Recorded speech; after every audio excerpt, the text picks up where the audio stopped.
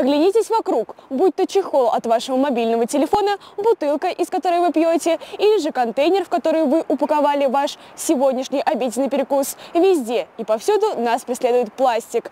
Человечество производит просто огромное количество пластмассы, которая на самом деле вредит и окружающей среде, и нам самим.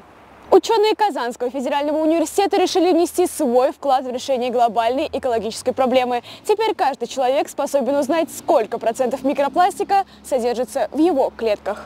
Микропластик известен своим негативным свойством аккумулироваться в клетках живых организмов, тем самым вызывая токсический эффект. Вообще, микропластик – это любой кусок полимера размером меньше 5 мм. Чаще всего он образуется в результате стирания больших кусков материала, выброшенных в окружающую среду. Это либо первичный микропластик, то есть мелкие частицы, которые используются в косметике, либо в какой-либо другой промышленности, либо вторичный микропластик, частицы, которые возникли в результате разрушения каких-то пластиковых отходов. Исследование было направлено на увеличение эффективности детекции, то есть нахождение микропластика в клетках не только человека, но и простейших организмов. Существующие методы, они вполне эффективны, но объемы и скорость таких исследований, она довольно снижена. Расскажите, пожалуйста, где мы сейчас находимся, что здесь происходило?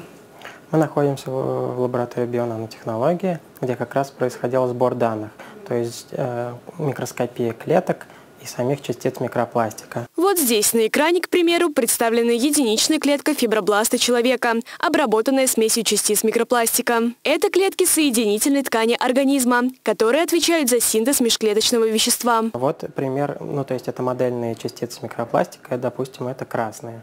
Мы использовали други, несколько других классов, несколько других цветов. Разная пигментация частиц микропластика необходима для их определения при микроскопии. К ним также может быть прикреплен флуоресцентный маркер, который позволяет им светиться. Почему вы выбрали именно эту тему исследования? Чем она привлекла?